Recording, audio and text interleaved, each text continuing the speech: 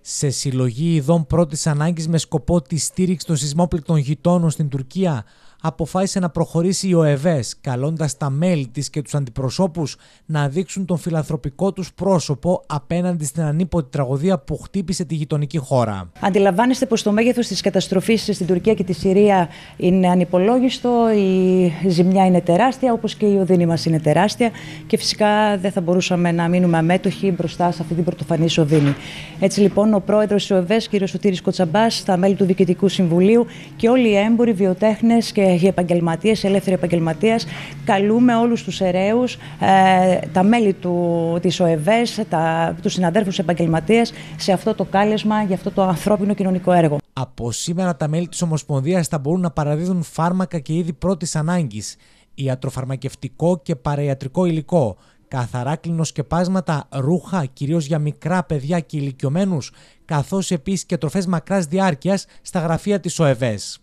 Όντας λοιπόν όλοι μας ευαίσθητοι, δεν θα μπορούσαμε να μείνουμε αμέτωχοι. Γι' αυτό λοιπόν από σήμερα κιόλας στα γραφεία της ΟΕΒΕΣ, στον πρώτο όροφο του επιμελητηρίου, συγκεντρώνονται ήδη πρώτη ανάγκη. Τι εννοούμε με αυτό, εννοούμε κλινοσκεπάσματα, σεντόνια κουβέρτες, ζεστά ρούχα για τα μικρά παιδιά και τους ηλικιωμένους, όπως επίσης και ε, παραγιατρικό υλικό, όπως είναι οι γάζες, όπως είναι τα γάντια μιας χρήσεως, φυσιολογική ορή, ε, όπως επίσης και διάφορα τρόφιμα ε, μεγάλης διάρκειας όπως είναι γάλα ευαπορέ, ρύζι, ζυμαρικά. Όπως καταλαβαίνετε το επαναλαμβάνω και λέω ότι ε, δεν θα μπορούσαμε να μείνουμε αμέτωχοι γιατί ε, θέλουμε και εμείς να δείξουμε την ανθρωπιά, την αλληλεγγύη, αλληλεγγύη μας σε αυτούς τους ανθρώπους γιατί ε, ο ανθρώπινος πόνος δεν έχει ούτε όρια ούτε σύνορα.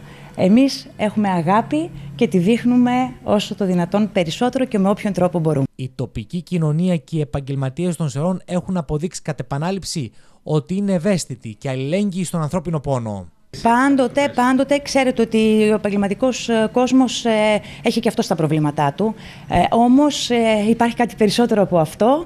Ε, Εμείς είμαστε ευαίσθητοι και το αποδεικνύουμε όποτε ε, είναι ανάγκη και όποτε το νιώθουμε και εμείς. Έτσι λοιπόν, για άλλη μια φορά, καλώ όλους τους συναδέρφους τα μέλη λοιπόν των σωματείων, τα διοικητικά συμβούλια και τα μέλη των σωματείων, τους εμπόρους και τους ε, βιοτέχνες σε αυτό το κάλισμα της ΟΕΒΕΣ. Όπως είπαμε, να επαναλάβω, στα γραφεία της ΟΕΒΕΣ, στον πρώτον όροφο του επιμελητηρίου, από το πρωί από τις 9 μέχρι τη 1 το μεσημέρι, θα περιμένουμε και ελπίζω τα αποτελέσματα να είναι θετικά.